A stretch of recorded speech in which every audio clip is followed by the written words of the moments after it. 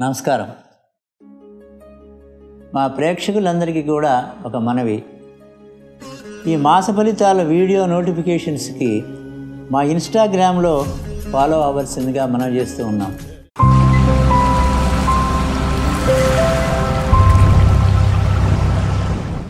శ్రీ ప్లవనామ సంవత్సర రెండు వేల ఇరవై ఒకటి డిసెంబర్ నెల సింహరాశి రాశి ఫలితాల కార్యక్రమానికి స్వాగతం. హరి ఓ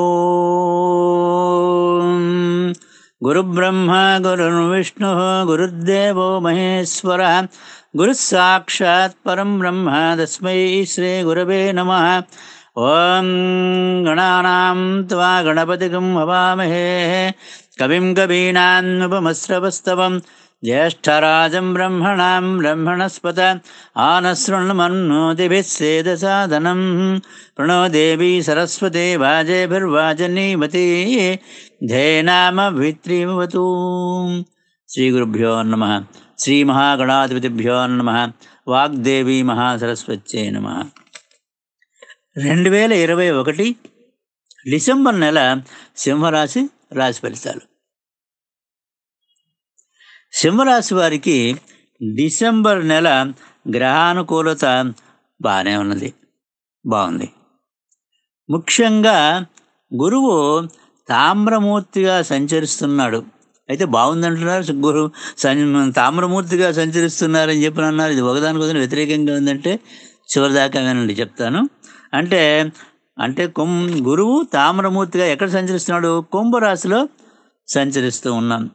అయితే సింహరాశికిని ఈయన వీక్షణ చేస్తూ ఉన్నాడు గురువుగారు. అది ఒక విశేషం. అంటే మీ సింహరాశిని గురువుగారు కుంభంలో నుంచి సింహరాశిని వీక్షణ చేస్తూ ఉన్నాడు. కనుక గురువుగారి యొక్క వీక్షణ ఉండేటువంటి యొక్క సింహరాశి వారికి మంచి శుభ ఫలితాలు వస్తాయి. తామ్రమూర్తికి లెక్కలేదు ఇక్కడ. అది పక్కన పెట్టేసేద్దాం. ఈ రోజులు ఈ రోజులు ప్రకారం మీకు అనుకూలంగా ఉంటుంది. గురు వీక్షణ ఉంటే చాలు. అన్నీ సరిపోతాయి.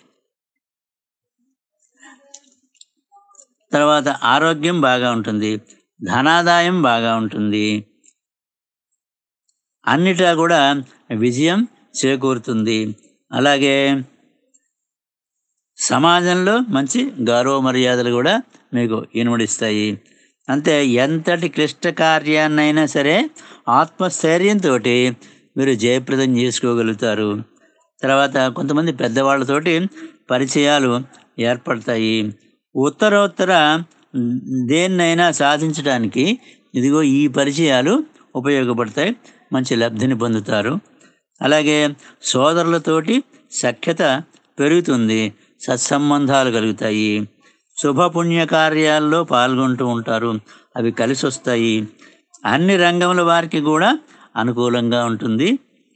ఎన్ ఇప్పుడు ఇంతవరకు కూడా అపరిష్కృతంగా ఉండేటువంటి యొక్క పనులు అంటే ఎందువలనైనా ఈ మాట తీరులో మీకు కొద్దిగా తేడా పూర్వం ఉండేటప్పటికీ మనం మన పనిని మనమే జడగొట్టుకుని ఉండవచ్చు.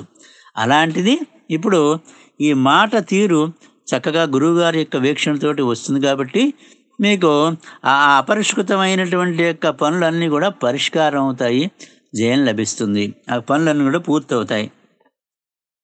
తర్వాత సంతానానికి చదువు బాగా వస్తుంది. మీరు ఏదన్నా కోర్సులు చదువుకునేటువంటి విద్యార్థులు ఉంటే ఈ రాశిలో వాళ్ళకి వాళ్ళకు కూడా చదువు బాగా వస్తుంది. తర్వాత సంతాన రీత్యా సుఖ సంతోషాలు లభిస్తాయి.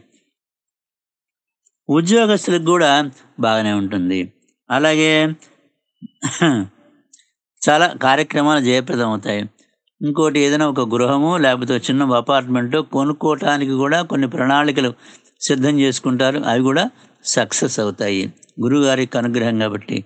అలాగే వాహనాలు కూడా పాతది మార్చేసి ఏదో కొత్తది కొనుక్కోవటం లేకపోతే అసలు కొత్తదే కొనుక్కోవటం ఇలాంటివన్నీ కూడా మీకు సమకూరుతాయి. ఎందుకంటే వాహనకారకుడు కాబట్టి. సో ఇవన్నీ కూడా గురువు యొక్క ఫలితాలుగా ఓవరాల్గా మిగిలినటువంటి గ్రహాల యొక్క సంచారాన్ని కూడా పరిగణలోనికి తీసుకొని చెప్పడం జరిగింది. ఇప్పుడు మీ సింహరాశికి అధిపతి ఎవరండి? సింహరాశికి అధిపతి రవి. కాబట్టి రవి ఈ నెల పదహారు వరకు కూడా ఎక్కడ సంచారం చేస్తున్నారంటే first half of the month. ఎప్పుడు? ఆయన ఎక్కడ సంచారం చేస్తున్నాడు? వృశ్చిక రాశిలో సంచారం చేస్తూ ఉన్నారు. వృశ్చిక రాశిలో. అంటే నాలుగింట సంచారం చేస్తూ ఉన్నారు. వృశ్చిక రాశిలో నాలుగింట. అంటే నాలుగు వృశ్చిక రాశికి అధిపతి ఎవరండి? కుజుడు.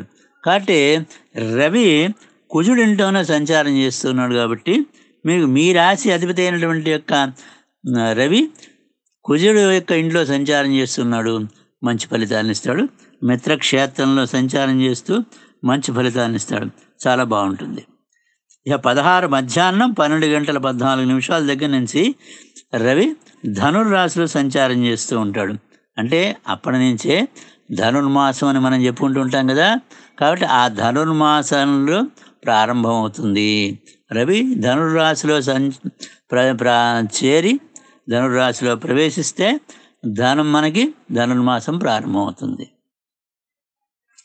కాబట్టి ధనుసు అంటే ఐదు ఐదు అనమాట ఐదింట గురువుగారు సంచారం చేస్తూ ఉండబోతుంటారు పదహారు తర్వాత నుంచి ఈ నెల పదహారు తర్వాత నుంచి.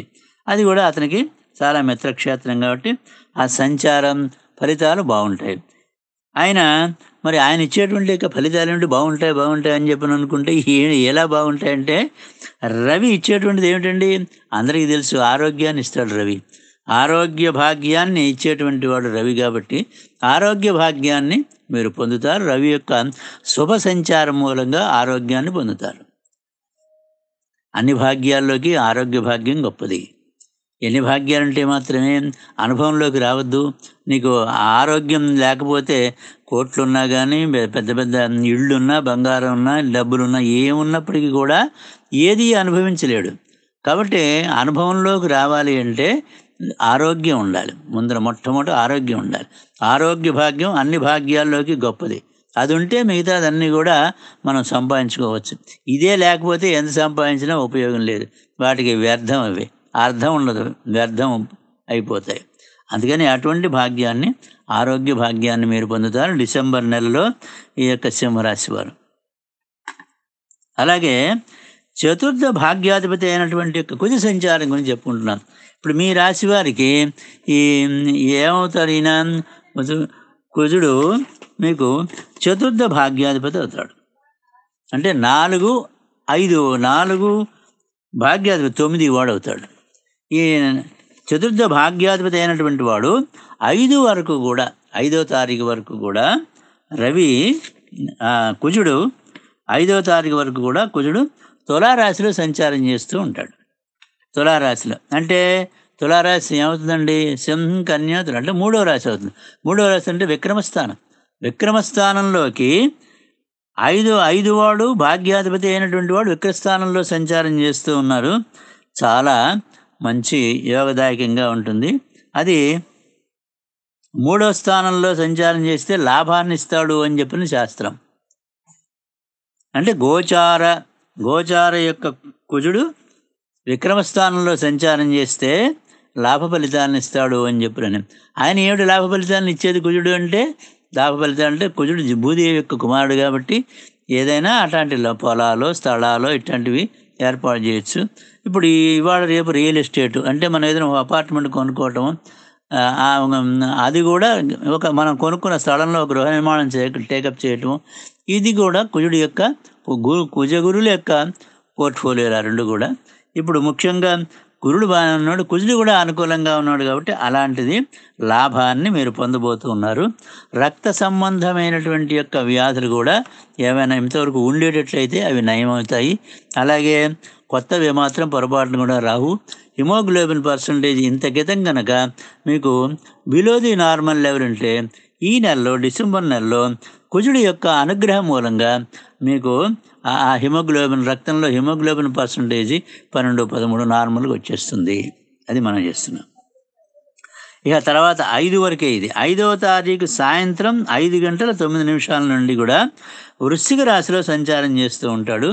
అది నాలుగింట సంచారం చేస్తూ ఉంటాడు. వృశ్చిక రాశి కుజుడికి స్వక్షేత్రం అనమాట అది. ఆయన ఇంటూ ఆయనే సంచారం చేయబోతున్నాడు. అది మంచి ఫలితాన్ని ఇస్తాడు తప్పకుండాను. అంటే నాలుగు వాడు నాలుగులోనే సంచారం చేస్తూ ఉన్నాడు కాబట్టి ఇందాక మనం చెప్పుకున్నవన్నీ కూడా ఈ ఐదో తారీఖు తర్వాత కూడా వర్తిస్తాయి అని చెప్పుకోవాలి మనం. తర్వాత ఈ స్త్రీలకు కూడా ఉండేటువంటి యొక్క వాళ్ళకి సంబంధించినటువంటి యొక్క ఈ పీరియడ్స్లో కొద్ది తేడాలు రావటం కానీ ఎర్లీగా రావటం కానీ ఇలాంటివి కొన్ని కొన్ని కూడా స్త్రీల సంబంధమైన వ్యాధులు కూడా నయం అవుతాయి ఈ యొక్క డిసెంబర్ నెలలో ఈ రాశి వారికి. తర్వాత ఇప్పుడు మనం శుకుడు యొక్క సంచారాన్ని మనం తీసుకుందాం.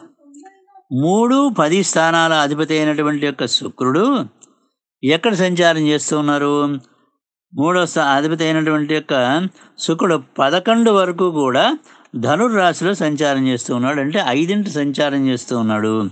ఐదింటి సంచారం చేస్తూ ఉంటే గోచార శుక్రుడు ఐదవ స్థానంలో మీ రాశి నుంచి ఎవరి రాశి అయినా సరే ఐదవ రా మీ రాశి నుంచి ఐదవ రాశిలో కనుక శుక్రుడు సంచారం చేస్తూ ఉంటే గోచార శుక్రుడు తప్పకుండా సంతాన లాభాన్ని ఇస్తాడు అని చెప్పిన శాస్త్రం.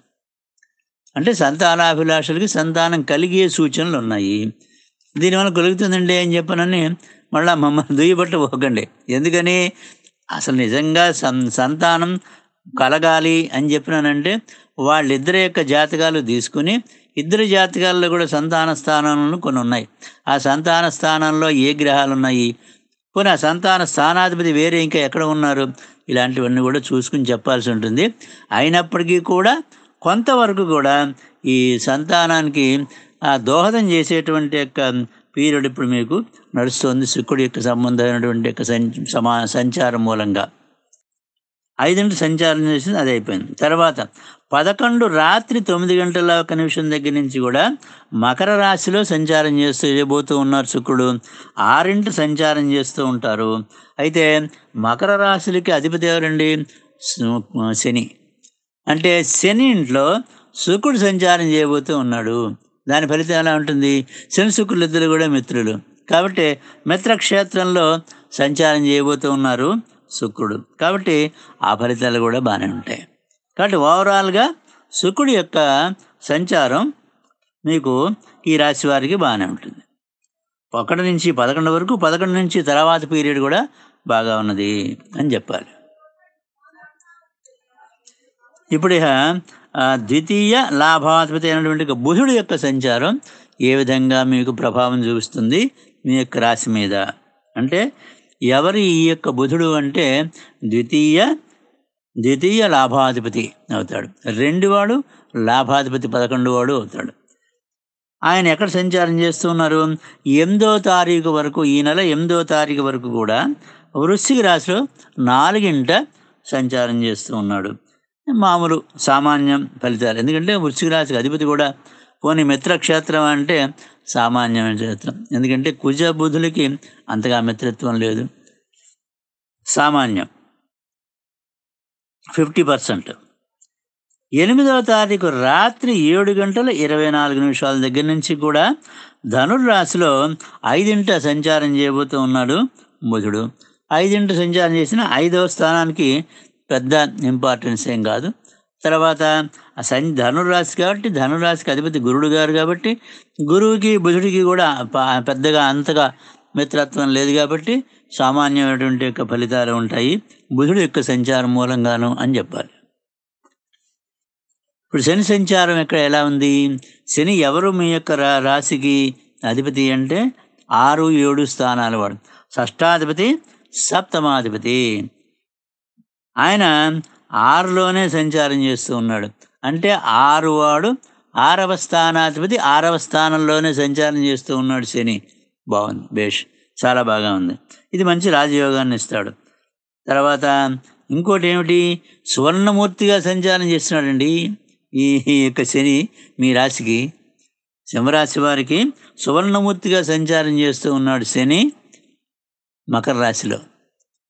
అద్భుతమైనటువంటి ఫలితాలు మీరు పొందబోతున్నారు చాలా మంచిది.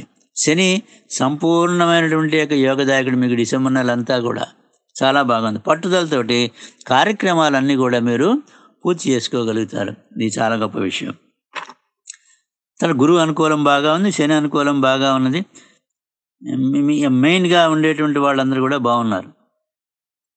రాహు యొక్క సంచారం ఎలా ఉంది? రాహు ఎక్కడ సంచారము? వృషభ రాశిలో సంచారం చేస్తూ ఉన్నాడు రాహు. ఎలా? ఉచ్చ స్థితిలో సంచారం చేస్తున్నాడు అక్కడ. ఇంకా అది ఏమవుతుంది? రా పదో స్థానం అవుతుంది. పదో స్థానంలో లోహమూర్తిగా సంచారం చేస్తూ ఉన్నాడు. కాబట్టి అక్కడ సామాన్యమైనటువంటి యొక్క ఫలితాలు. అంటే అప్పుడప్పుడు అప్పుడప్పుడు కాస్త ఏదైనా ఈ మోకాళ్ళ నొప్పులు కానీ భుజాల దగ్గర నొప్పులు కానీ ఇలాంటిది ఏదైనా వచ్చేటువంటి అవకాశాలు కనపడుతున్నాయి. దానికి దుర్గా స్తోత్రాలు చదువుకోండి. తప్పకుండాను. కేతువు. కేతువు వృశ్చికంలో సంచారం చేస్తూ ఉన్నారు. వృశ్చికం అంటే మీ రాశికి ఏమవుతుంది? సింహం కన్య తుల వృశ్చికం. అంటే నాలుగింటి సంచారం చేస్తూ ఉన్నాడు.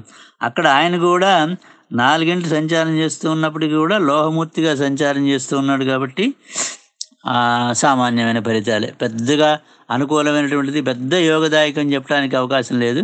సామాన్యమైనటువంటి ఫలితాలు కేతువు విద్యార్థులకి ఇప్పుడు విద్యార్థులకి బాగుంది. వ్యవసాయదారులకు కొద్ది సంచారం బాగుంది కాబట్టి బాగా ఉంది. ఉద్యోగస్తులందరికీ కూడా శని సంచారం శని మంచి చక్కటి మూర్తివంతం కూడా చాలా బాగా ఉంది కాబట్టి శని సువర్ణమూర్తిగా సంచారం చేస్తున్నాడు కాబట్టి తర్వాత రవి సంచారం కూడా బాగానే ఉంది కాబట్టి మీకు ఉద్యోగస్తులకి బాగా ఉంది. వ్యాపారస్తులకి ధనకారకుడైనటువంటి గురువు బాగున్నాడు కాబట్టి వ్యాపారస్తులందరికీ కూడా బాగుంటుంది.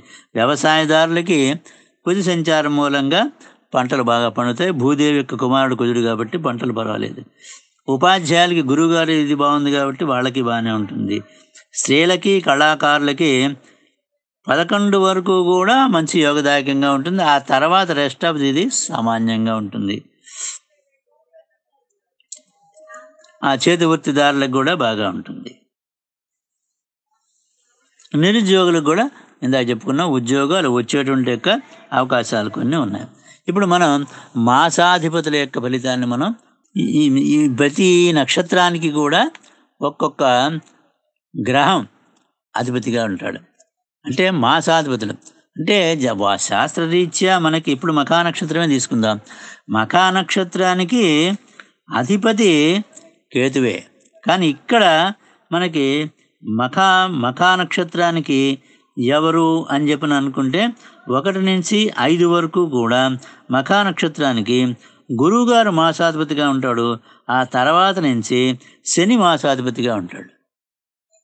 అది ఇది మాసాధిపతులు అనమాట అంటే ఇన్ఛార్జ్ మినిస్టర్స్ అంటారు వాళ్ళని ఒక జిల్లా మినిస్టర్ గారు వేరే జిల్లాకి ఇన్ఛార్జిగా ఉంటారు. అంటే అక్కడ జరిగేటువంటి యొక్క మీటింగ్లు అవన్నీ కూడా ఈ మంత్రి గారే పర్యవేక్షిస్తూ ఉంటారు. ఇది మనకు తెలిసిన విషయం కదా. అలాగే ఇక్కడ కూడా ఒక నక్షత్రానికి కొన్ని గ్రహాలు మాసాధిపతులుగా ఉంటారు. కాబట్టి వాళ్ళని కూడా మనం సంతృప్తి పరుచుకోవాలి వాళ్ళు ఎలా ఉన్నారో చూసుకోవాలి. వాళ్ళు కొంత ఇంపార్టెంట్ ప్రముఖ ప్రాముఖ్యత వహిస్తారు. మన యొక్క ఈ నెలలో జరిగేటువంటి విశేషాలకి.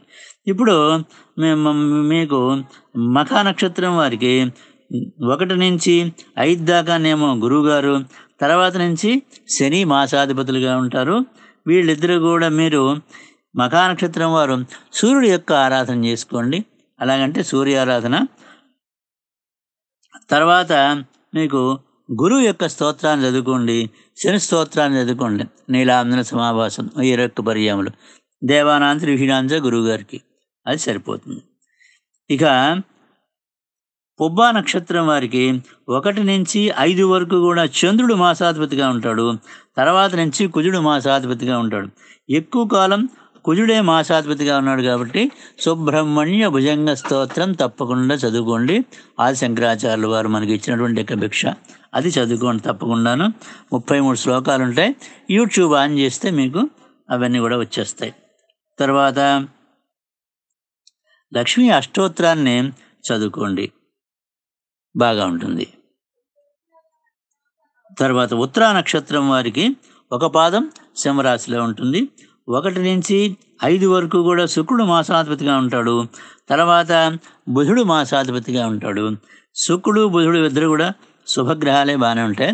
అయితే మీరు సూర్య సూర్యనారాయణమూర్తి వారు ఆరాధన చేసుకోండి. సూర్య ఆరాధన అంటే ఆదిత్య హృదయ స్తోత్రం కానివ్వండి లేదా ఓం సూర్యాయ నమ అనే మంత్రాన్ని జపించుకోవటం నూట ఎనిమిది పర్యాములు జపించడం కానీ లేకపోతే సూర్యనారాయణమూర్తి వారికి అష్టోత్తర శతనామాలు చదువుకోవటం కానీ ఇవి చేయండి. చాలా ఆనందదాయకంగా ఉంటాయి. ఉత్తరా నక్షత్రం వారికి కూడాను. సో వీరి మీ దానికి అదృష్ట సంఖ్య ఒకటి మూడు నాలుగు ఐదు తొమ్మిది ఆది మంగళ బుధ గురు వారాలు మీకు కలిసి వచ్చేటువంటి యొక్క వారాలు. ఈ సింహరాశి వారికి నవగ్రహాలు కూడా ఏకాదశి స్థానంలో ఉండేటువంటి యొక్క శుభ ఫలితముని సంప్రాప్తి చేయవలసిందిగా పరమాత్మని ప్రార్థన చేస్తూ సర్వేజనా సుఖనో భవంతు స్వస్తి.